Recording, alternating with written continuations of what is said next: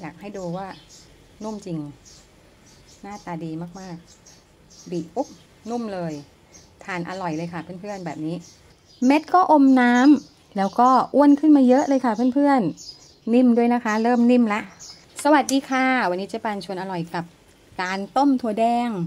ต้มยังไงให้เม็ดนุ่มไวมากๆทำง่ายๆนะคะ ใช้เวลาแค่ 10 นาที ขั้นตอนแสนง่ายเลยค่ะ เดี๋ยวมาดูกันเลยนะคะ ขั้นตอนง่าย ๆเลยนะคะ เราจะเริ่มจากการเอาถั่วแดงมาแช่น้ำก่อน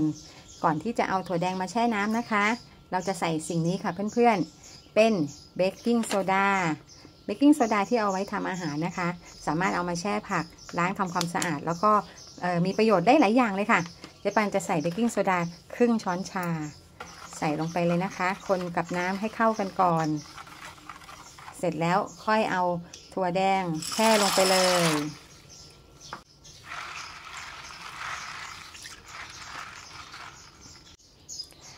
ผ่านไปหนึ่งชั่วโมงแล้วนะคะเพื่อนๆ ถั่วแดงก็บานไวมากเลย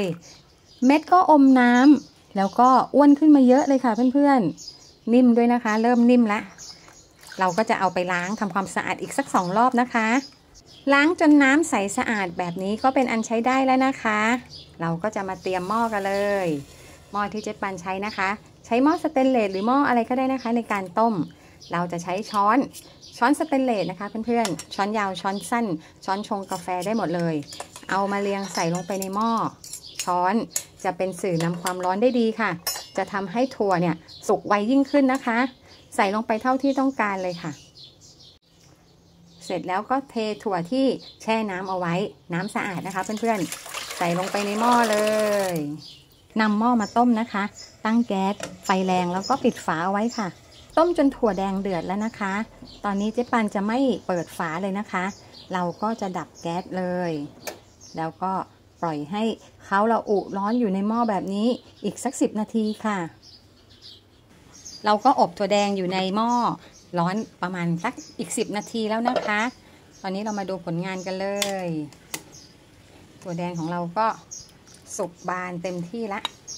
หน้าตาดีมาก ๆ เลยค่ะ อันนี้ยังไม่ได้ใส่น้ำตาล เอามาต้มให้นุ่มก่อน จะเอาไปใส่น้ำตาลทำขนม ใส่ไอศครีมอื่นๆ ก็ได้นะคะ ไปเติมน้ำตาลเพิ่มได้เลย เอาไปต้มเพิ่ม เรามาดูผลงานกันค่ะเพื่อนๆ ยังอุ่นๆร้อนๆอยู่ แต่นิ่มมากโอ้โห สุกแล้ว อยากให้ดูว่านุ่มจริง หน้าตาดีมากๆ บีบปุ๊บนุ่มเลย ทานอร่อยเลยค่ะเพื่อนๆแบบนี้ ช้อนสเตนเลสที่อยู่ในหม้อนะคะ เอาออกมาได้เลยนะคะ เขาเป็นตัวนำความร้อนที่ดีมากๆทำให้ถั่วสุกไวค่ะ เอาออกได้เลยเสร็จเรียบร้อยละ หน้าที่ของเขาเสร็จแล้วนะคะ ไว้เพื่อนๆลองไปทำดูนะคะ ถั่วแดงมีประโยชน์มากๆ ทานอร่อย แต่วิธีต้มเนี่ยบางคนต้มไม่เป็นก็อาจจะใช้เวลานานมากๆ จ๊ปานใช้เวลาแป๊บเดียวเองค่ะ ด้วยขั้นตอนแสนง่าย ฝากติดตามครัวอร่อยใบเจ๊ปานสำหรับเคล็ดลับดีๆในครัว และเมนูทำง่ายแสนอร่อยในคลิปหน้าด้วยนะคะ ขอบคุณมากค่ะ